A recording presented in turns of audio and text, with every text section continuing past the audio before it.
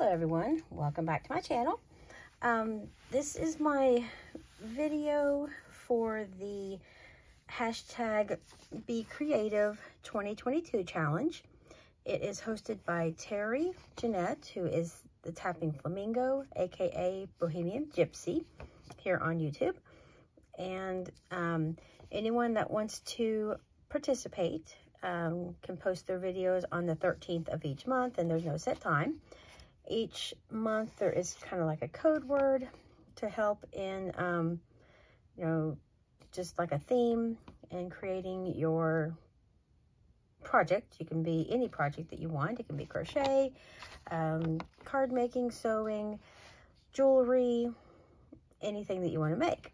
Now for the month of May, the theme or code word is flowers.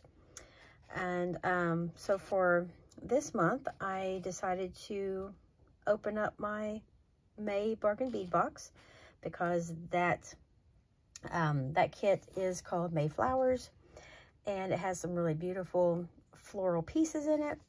And so I just made one necklace so far. Um, now underneath this um, material here, I do have some earrings that I'm working on. I just don't have them finished to share in this video. But for this necklace, I went with this really gorgeous kind of like filigree um, floral connector. Um, I used it as a pendant. And I just made a little dangle at the bottom with these gorgeous, um, these beads here are called, they are the um, pink quartz dyed round beads. And I use some of these little tiny um, these are called Cat's Eye Bicones. And then just some of these really light yellow.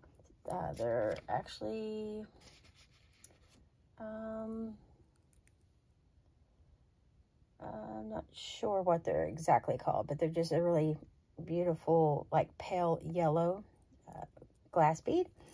And I love these connectors. There were two of these in the in the box, um, so I just used the one here. And I did use some of my um, Soft Flex copper beading wire or beading string.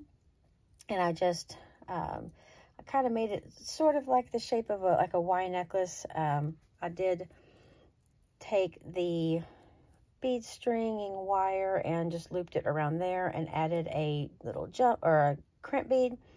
Put my uh, bead caps and then these really gorgeous pink beads from the kit and then crimped it again at the top just to like stabilize that right there. And then I just took each string and separated it and just did the pattern up the side. Um, just repeated with the, uh, I just used some little spacers for my stash, then added these little tiny green cat's eye uh, bicones, and then these really beautiful pale yellow beads, and then the bead caps. I love these floral um, leafy looking bead caps. They just fit these pink beads perfectly. And then another green one here, then some spacers, and then just repeated that. And then these really cool, um, these are called wavy leaf spacer beads, which are really nice. I love the detail on those. And then just finished up the end with another green bead and a spacer. And then I just did a crimp at the top and then just let the rest of the beading string just show. And then I used the um, one of the toggles from the kit, which is this really beautiful, um, almost looks like a, a rose there at the end. And you just, I just, you know, it just has that little loop through the stem of the flower and just did a simple little crimp at the top for each piece of this toggle clasp. And there's that detail on that. Absolutely beautiful. And then that just fits right through like so. I can do it on the camera. And that's how it looks when it's fastened. And so this I made a little bit shorter than I had intended.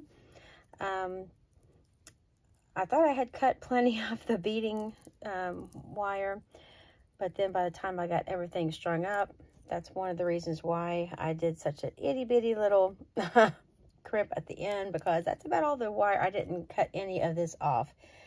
Um, where I crimped it, that was the actually the end of the string. I did not cut any excess off. So it's a little bit shorter than I had wanted it to be. Um, so it's more like a choker on me, but I think it looks really nice. And I love how it sits on my neck. So it still turned out to be something that I will definitely wear. And I cannot wait to be able to wear this sometime. I think I have a couple of shirts that this would look perfect with. And that is my piece for the Mayflowers um, Be Creative Challenge for this month. And if you want to participate as well each month, here is the list of the different code words. So next month for June, it is a travel theme. And you just use the hashtag Be Creative 2022 challenge. Well, that's the that's the um, hashtag you use in your video, hashtag Be Creative 2022. And that way people can find you if you have done a video. And again, this is hosted by Terry Jeanette, who is Tapping Flamingo.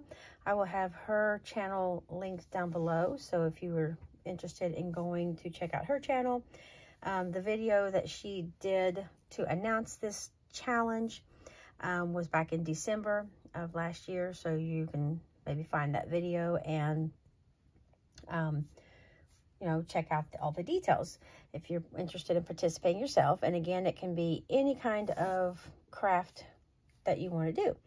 Um, so thank you everyone for um, stopping by. Um, I know that Deb Hauk, um, Dahlia Designs Jewelry and More channel, she does this every month. And um, of course, Terry, uh, it's her challenge. And I'm, I think I've seen a few videos here and there of other people, but um, definitely if you're interested in jumping in anytime, just go ahead and join in. It's a really fun challenge and it's a great way to kind of get your creative juices flowing by having these different uh, little themes to create around. Um, thank you everyone for stopping by. I hope you have had a great day and I will see you all in the next video. Take care.